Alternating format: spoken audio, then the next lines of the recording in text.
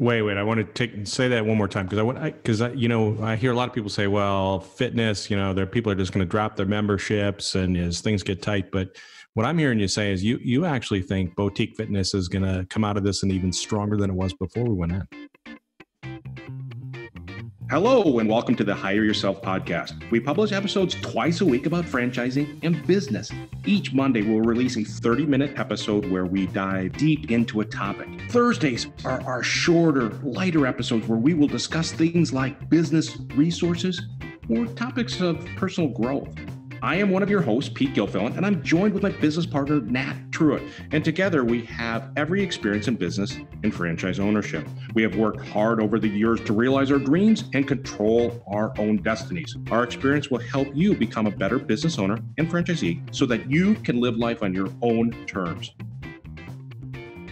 All right, Nat, I'm super excited for our guest today. We have our very good friend, Lance Freeman, on with us today, the president of franchise development at Xponential.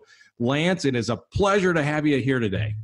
Ah, it's a pleasure to be here. Thank you so much, Pete and Nat. Great to see you guys. And uh, I'm excited to catch up with you guys. Yeah. Well, I, I was thinking as we started, and we, we were talking a little bit before we were taping today uh, I I was just laughing. You're telling me it's 102 degrees there, and I think it was like 36 degrees when I took the dog out today. So uh, I'm a little jealous of the weather that you have going right now. Uh, we we call it a dry heat here in, uh, in Phoenix, but uh, we're actually about 15 degrees above above normal. But you get you get used to it. I'm sure like you get used to the cold to some degree, but it's yeah. Uh, it's hot. You know, people are already having to barricade inside, so now they're now they're even having to stay in even more. oh boy. Oh wow. Crazy stuff. Well, Lance, I think, you know, from your your standpoint, I've known you for a long time. And I want to start with a little bit of your background in franchising. I know you've been in franchising for a very long time. So tell us a little bit about your background, how you got started in franchising. I appreciate the question. Every time I kind of share this with folks, uh, it makes me feel old because I was thinking I got it. I started franchising in '95, so you start doing the math on that. About two and a half decades, but I kind of fell into it pretty early in life and uh, met up with an original entrepreneur of a concept that later he started to franchise the model in, and I became one of the early franchisees in that system. So, kind of um, for the first ten years, almost uh, learned a little bit as you went, you know, and which was uh, which was a good experience in, in, itself. But I became a multi-unit franchisee in that system, and then uh, you don't see them as much in today's systems, but it became bought what's called a master franchisor uh, model. So uh, it's an area developer model where you actually support franchisees and develop the market. And I really, I think it's probably during that time I figured out that I really like building things and, and the development side of it was really what got me kind of sparked and, and jazz. So I built out a market and uh, was doing well with my business. And it was also in the, the fitness lane. Uh, it's, it's uh, was my passion at a, at a very early stage in life. So I kind of stayed in that lane for two and a half decades, but was uh, approached by an investor group to sell my businesses. And at that time wasn't really interested in it, which is maybe a good thing, but I had an opportunity to, to uh, take a, a, few nice checks and exit that. And uh, kind of wanted to figure out what I was going to do when I grew up uh, in life, you know, but uh, knew a little bit about franchising and, and development. It was a company that was uh, actually injecting some new money in it, and they had brought in a a new CEO that had previously been with Yum Brands, which is uh, one of the larger franchisors in the world. They asked me to, to come in and develop uh, a new concept that they were rolling out. And I, you know, I actually didn't know what it was be going to be like working for somebody else. I'd pretty much been entrepreneurial at a pretty young age. And, but I thought, you know, it might be a fun experience while I was figuring out kind of what the next thing was and it would be an opportunity to to build something. Boy, I probably learned more about franchising and probably operational support in three years than I had in the previous 10, uh, largely because of that CEO that had been with Yum. And so that was a great experience for me. And I learned a lot from that. And then uh, kind of again decided that, you know, I, I, think I really wanted to stay in the development lane and franchising. I really enjoyed kind of being a catalyst for helping people realize their dreams of business ownership and and uh, navigate through that process, having done that myself and successfully.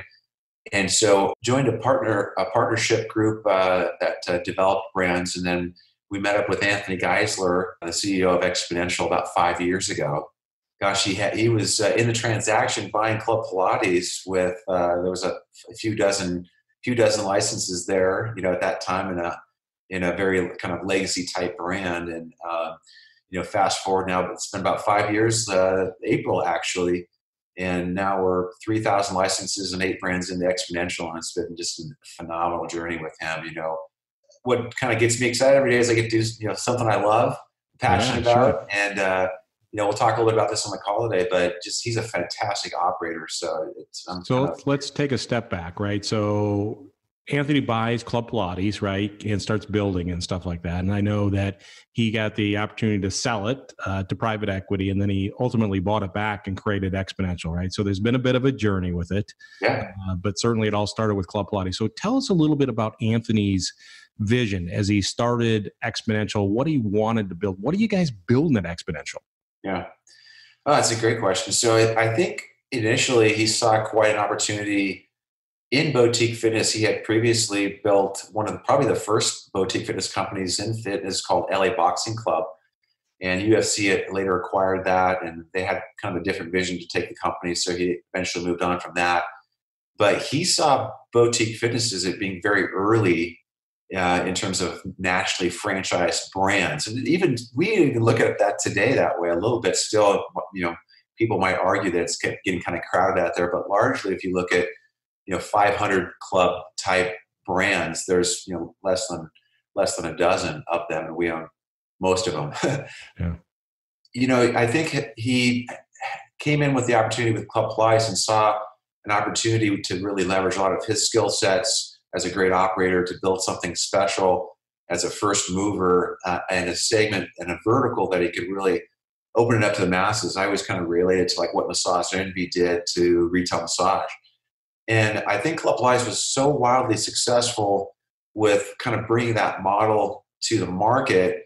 I always kind of say bringing, you know, really the best distribution channel for that vertical. If like Starbucks did for coffee, you know, we did for Pilates. That you know, he came to a point where he did take on a partner in, in TPG and said, "How do we just continue to do this with the best verticals and the best brands in in boutique fitness and kind of grab what at that time he looked at as maybe the, the core kind of four core verticals and then four emerging verticals to really kind of build a great great eight in terms of the largest boutique fitness company on earth and really start to create an exponential pass or an application where members can actually go into each of these verticals and access them through our membership and really not just win in the market but dominate. And so that was kind of the, the vision. And as you mentioned, you know, he took on a, a, part, a very large private equity partner in uh, TPG to, to, to do that. But very early on saw that that was going to be cumbersome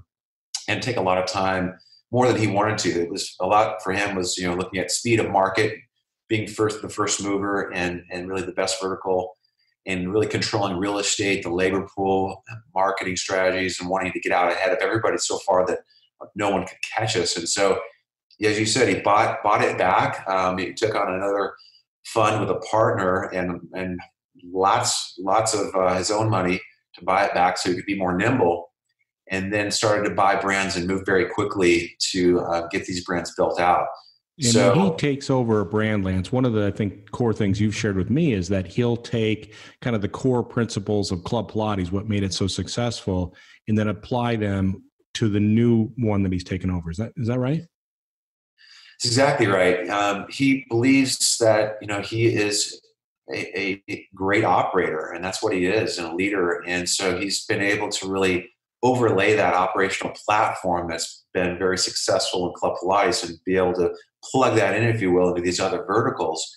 There are some verticals we've bought and what I call exponentialized and kind of you know done the branding and the market research and then roll them out from a very early stage. But there's a few that were substantial brands that had you know hundreds of, of uh, stores already operating and that were great brands but know, i'll even mention them so like a CycleBar or, or Pure Barre but operationally had let's call it a lot of opportunity uh, that we saw where we could take that model to a whole nother level by really bringing the exponential platform to it you know taking their average unit volumes to new heights uh, through the operational model. A lot of it you know it sounds like we had some rocket science uh, ideas here at principles, but a lot of it was really just being bringing good business principles to these models, like keeping your doors open during business hours, having someone in the front half of the business to actually answer the phones and, and greet, you know, a new potential member, uh, implementing a, a reoccurring revenue model so that you know we would drive membership and recurring revenue in the business rather than this kind of package driven model, which is kind of you know up and down every other month. So, mm, um, okay. um, so kind of adding those to the models has really um, driven success to all these brands. You know, we're proud to say we've never closed an Xponential unit. We've have 100% success with with uh, all brands. Well, congratulations then. So just so let's kind of fast forward. So Anthony built Xponential, wonderful facility in in Los Angeles, right? And he's he's got now his eight different brands, all yeah. under the under the kind of the boutique fitness umbrella. So tell us a little bit about where Xponential is today in terms of number of um, number of franchisees. Just give us kind of a state of what have you got today, and then what's your grand vision? Where where do you plan to grow this or build it to? So today. Uh, globally, we've got about 3,000 licenses awarded. We have about 2,000 of those units open and operating.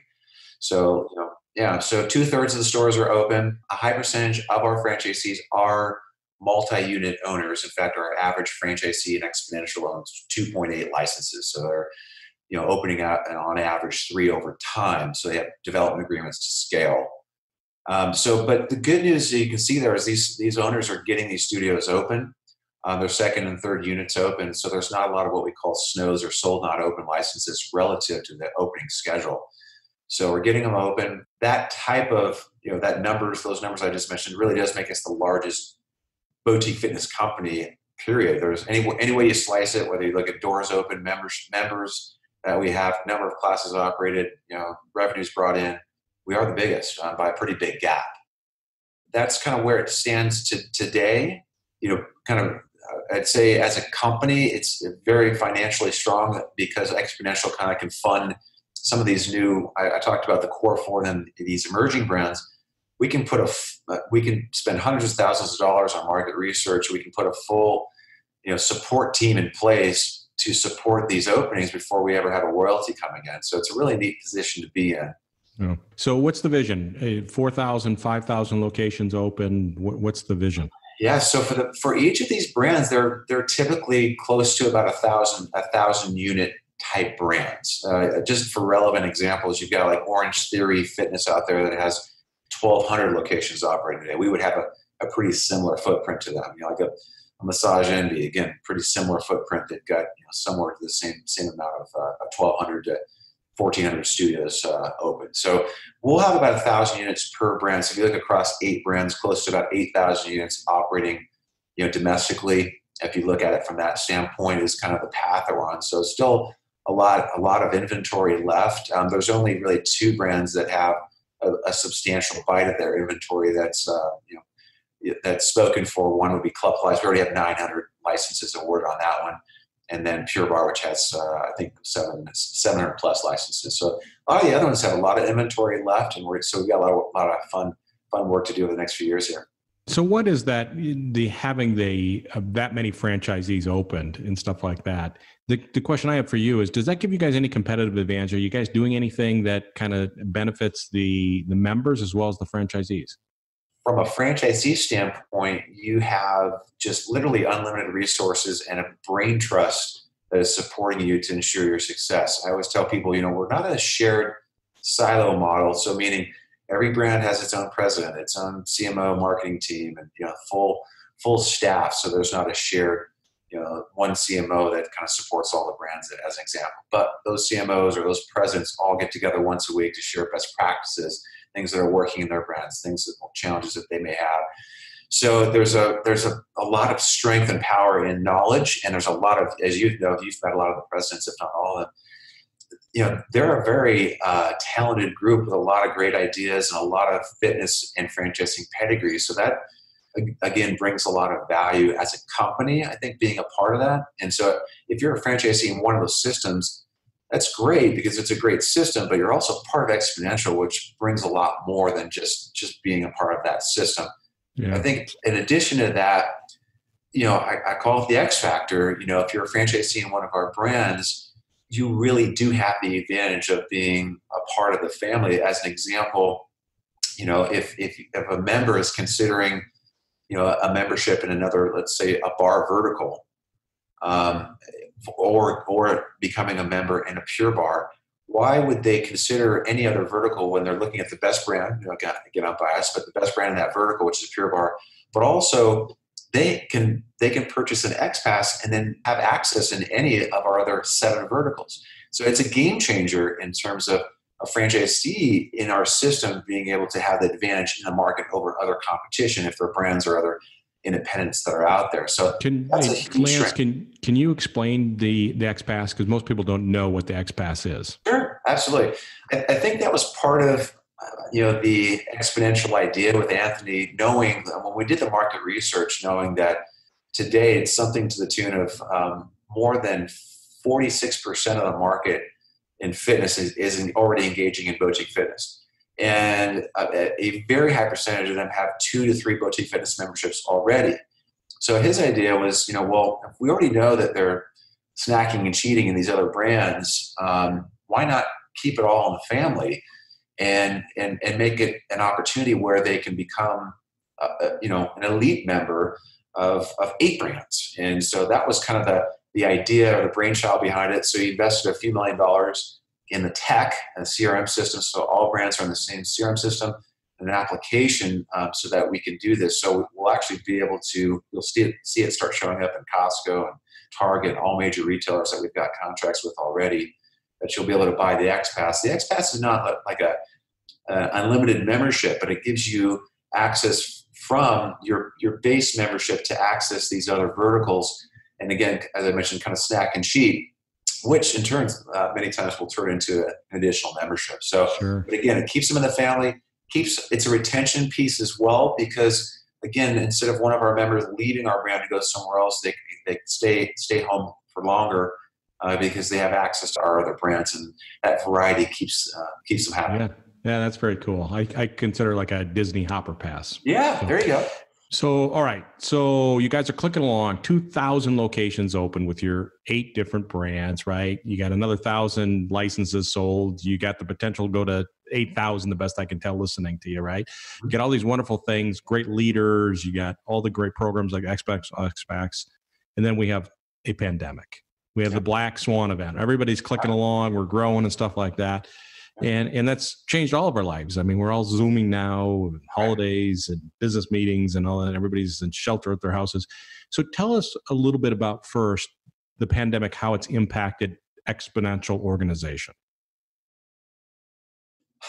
I'd say my initial response to this has made it made it stronger. We were very fortunate again, just because of our resources, that we already had what was called an O, an on-demand Go platform that was put in place. That was an initiative for 2020. That was more of a retention piece, but we knew that it would be an added added value for our franchisees, um, for members to be able to take classes online, you know, from home. And so when pandemic came, it was an immediate pivot for us to be able to go from what we call kind of the four walls model where you're inside the, the brand to a digital a digital model where you're you're still connecting with the brand taking class and still still a member uh, you know and so that was huge for us because what we did was we offered the on-demand go system to all of our membership free if they kept their draft on. So we had more than 60% of our our uh, members at our 2000 locations that kept their draft on and have kept it on through pandemic.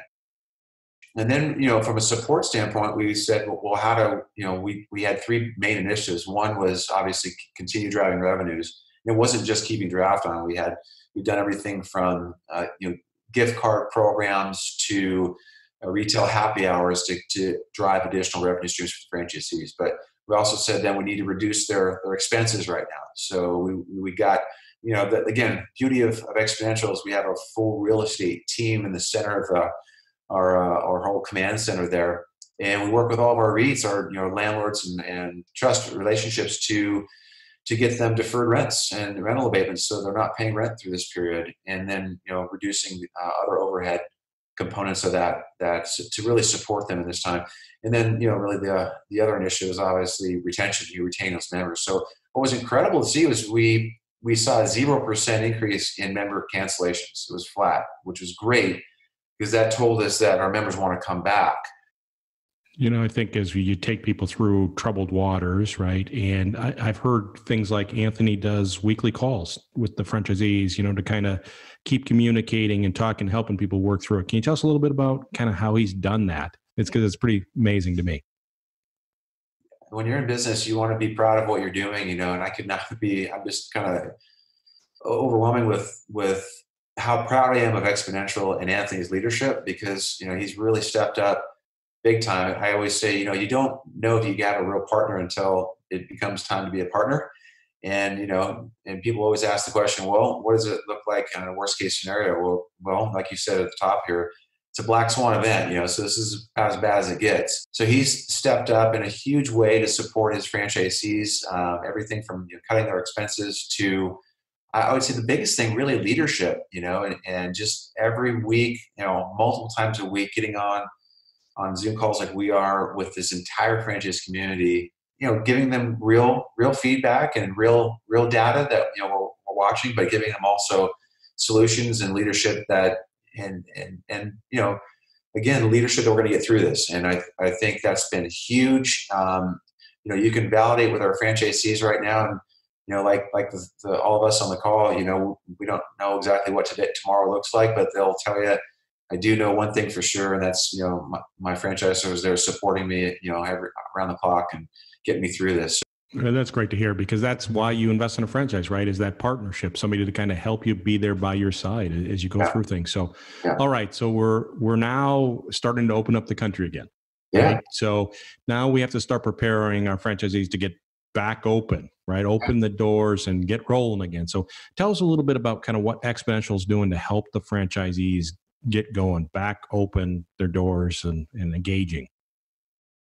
Again, um, one of the things I've always said about you know Anthony and Xponential support is it's proactive support rather than reactive support. Obviously, we had to react to a pandemic because no one, no one, uh, you know, had that one on the on the horizon. well, maybe some people did, but not not many.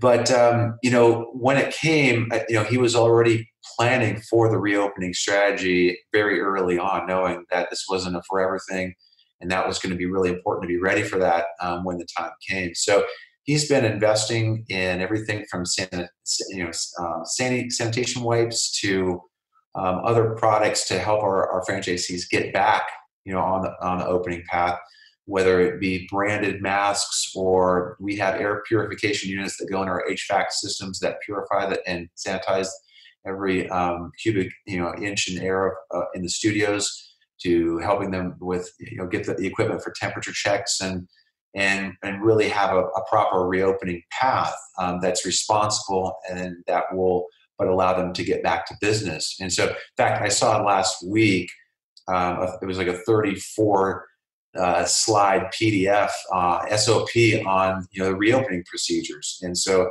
they've put a ton of time into it. They've invested in making sure it's done right. They've stockpiled you know cleaning supplies and things to make sure that they're ready for this. In fact, um, we're already on the path. I mean, we opened.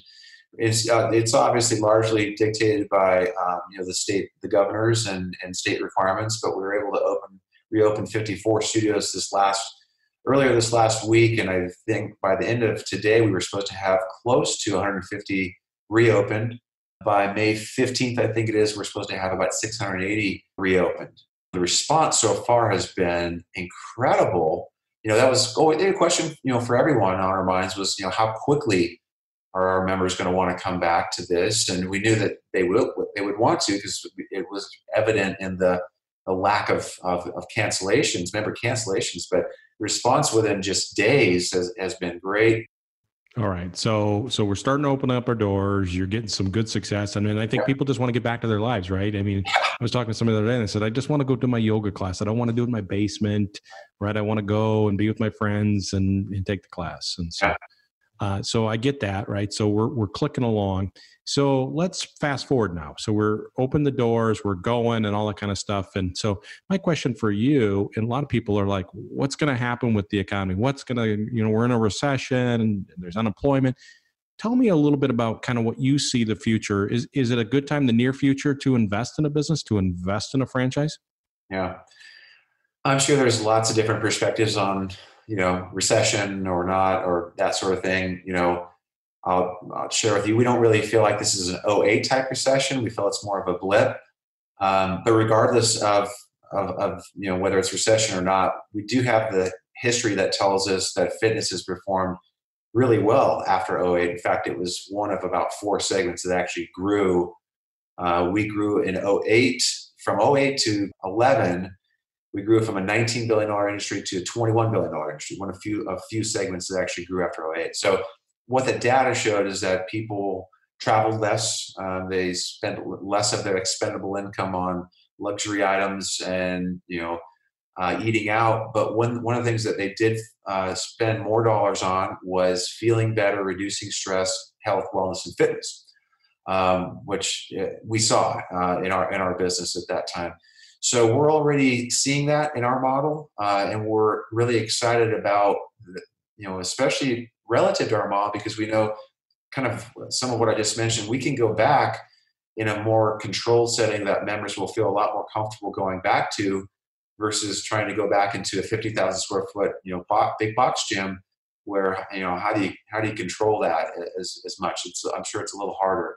We know that people are want to, going to want to be healthier after this. We know what you know. Most people that are having struggles with the, the COVID nineteen are people that have weaker immune systems and and uh, you know have health issues. So people are going to want to be more healthy. So that benefits us again.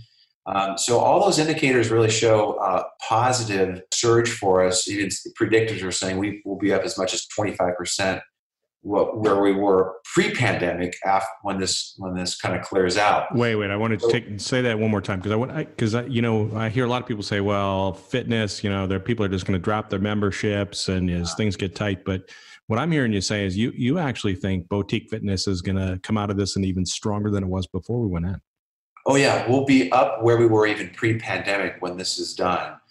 Um, again, largely for a number of reasons, but that's why I said at the beginning of the call, I feel like this is going to strengthen us because there's a number of things that are going to happen. One, and, you know, I don't wish you know um, ill will on anyone, but it's it's independents are going to really struggle, and and a number of them are not going to make it through this. Uh, the strong will survive, and so it does weaken the competition we have in the marketplace um, because the strong will survive.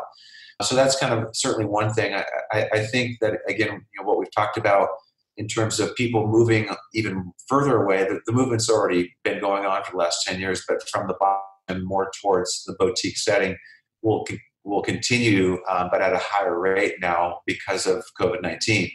So, those things, uh, plus we know that people are going to want to be healthier and get back to working out, and you know, will, will benefit, all benefit us.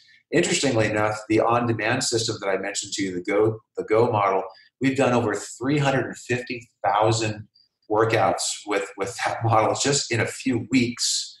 And wow. what's interesting is it's not just members of, you know, that were current members of, of Xponential, but we, these are new members that weren't members of Xponential that are engaging in the on-demand platform.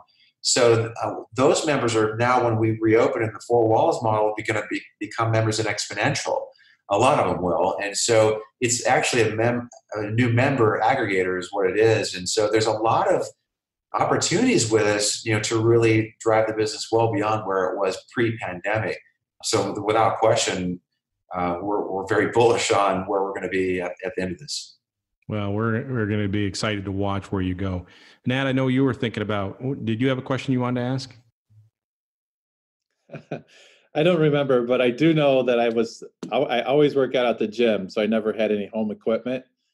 I was a few weeks too late, so then I'm searching around trying to find dumbbells and bikes and everything, and it supply and demand everything was twice as much. But I did end up buying some uh, dumbbells and an Airdyne bike for the basement and everything. But I'm I'll be the first one at the waiting in line at the gym to get back yeah. in. That's for yeah. sure. We hear, we hear that. uh, you can't imagine how much we hear that. You know. Uh, that's that's the census. Yeah. Yeah, absolutely. So, Lance, any other advice you'd give to people as they as as we come out of this and they're thinking about their future? I know you. A lot of your franchisees are former executives, right? They're they're people that are successful business owners or executives. and they look to invest in a franchise. So, any advice you would give to people as we look forward to the future of, hey, should I invest in a franchise? Well, um, I'll tell you one thing. I mean, I always say kind of fortunes are made and lost during times like this. And um, what's interesting now is I've got people coming out of the woodworks that are some of the larger investors I've ever worked with wanting to do really substantial deals with us because they see opportunity right now.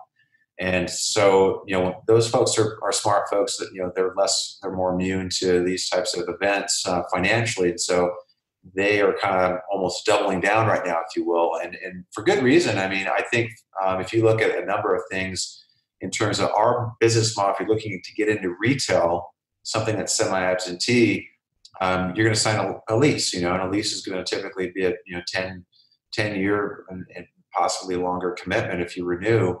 So if you're looking to kind of negotiate some some favorable terms there now is probably one of the better times that we've seen in in in recent time to do that um, because again landlords are wanting to keep their their occupancies high and they know that there's going to be you know they're talking as much as 20 to 25% of uh, independent businesses are not going to reopen. So um, they want to get strong franchise models into their into their real estate because uh, it builds value in our properties.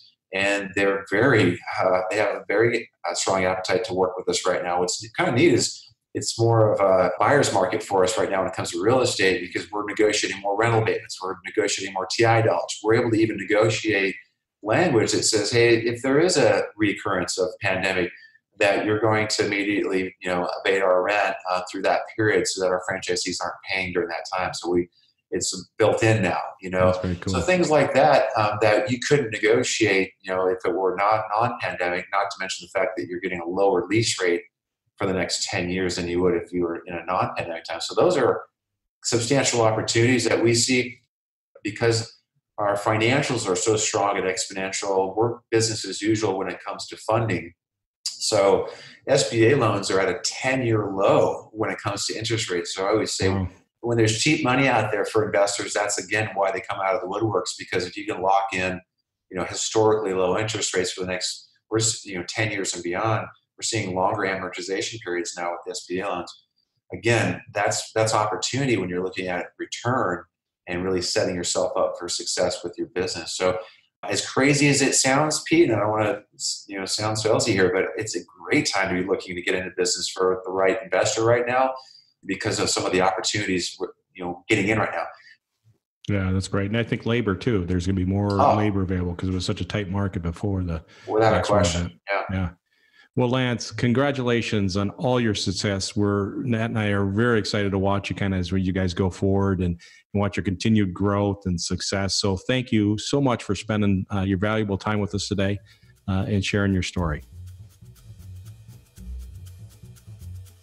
Thanks for listening to this episode of the Hire Yourself podcast. If you enjoyed this episode, please subscribe, give us a rating, and leave a comment on iTunes or wherever you're listening to our podcast. Hire Yourself offers some great resources on our website at hireyourself.com. And if you would like more content regularly, follow us on LinkedIn or Facebook. We look forward to you listening again to help you on your journey of living life on your own terms.